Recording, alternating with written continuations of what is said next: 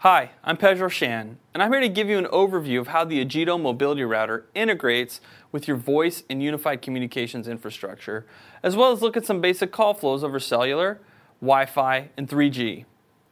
The Agito Mobility Router appliance ties to your IP-based PBX infrastructure from vendors such as Cisco, Avaya, Nortel, and many others using standards-based protocols like SIP. For these IP-based PBXs, the mobility router uses two connections, a SIP trunk, which is used for cellular access and handover, and SIP lines. These are the same connections that desk phones use to connect to the PBX. In fact, the Agito Mobility Router can connect to any PBX, including legacy TDM-based systems, using a SIP to TDM or PRI gateway. All right, let's make a VoIP call over Wi-Fi. First, I'm going to grab my BlackBerry and I'm going to dial a number. Let's pick one that we know isn't going to go anywhere. Let's dial 555 5091, and I'm going to hit the green button and make sure that that call goes out. Now, note that I'm dialing the way I normally do on a mobile phone. I'm not prepending any digits like a 9 or a 1 or a 0.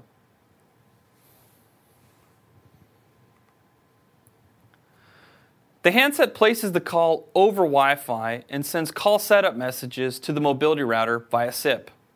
Then the mobility router sends call setup messages to the PBX via the SIP line interface. The PBX will route the calls the way it normally routes calls for desk phones, in this case, out to the PSTN. The destination party will see the desk phone number as the caller ID information, not the mobile number. All right, we've placed a voice over Wi Fi call now let's place a call from the cellular network. All right, I've got my BlackBerry again, and I'm going to dial the same number, 555 5091, and I hit the green button. Now you'll notice that this time the call is going over the cellular interface. The Agito client redirects the call to a direct inward dial or DID number that routes from the SIP trunk to the mobility router itself. The mobility router receives the call and the digits dialed by the user, and then, over the SIP line interface, it sends it to the PBX.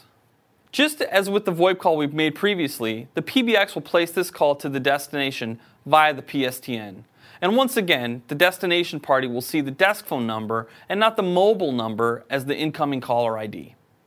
So we've placed a few calls now. Let's look at receiving some calls. But this time we're going to receive a call over 3G.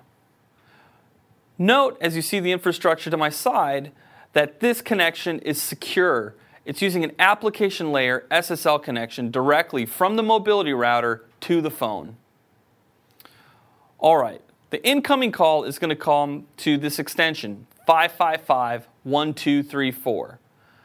The call will route to the PBX, and the PBX is going to ring the user's desk phone.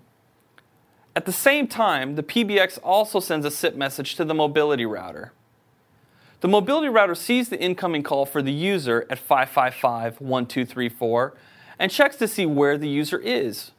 In order to route the call, by the best and most cost effective network, in this case, 3G. The mobility router sees the user is SIP registered and sends the call via VoIP over the carrier 3G network. The user sees the incoming call and the caller ID of the originator, the person who actually dialed the call, not from the PBX infrastructure. And there you have it, a call that came in via 3G. As you can see, the Agito Mobility Router is simple and easy to integrate with your existing PBX, either IP-based systems or TDM-based systems. And the call flows are very simple and logical. I hope you enjoyed this How It Works session, and please be sure to take a look at other great features and see how they work as well.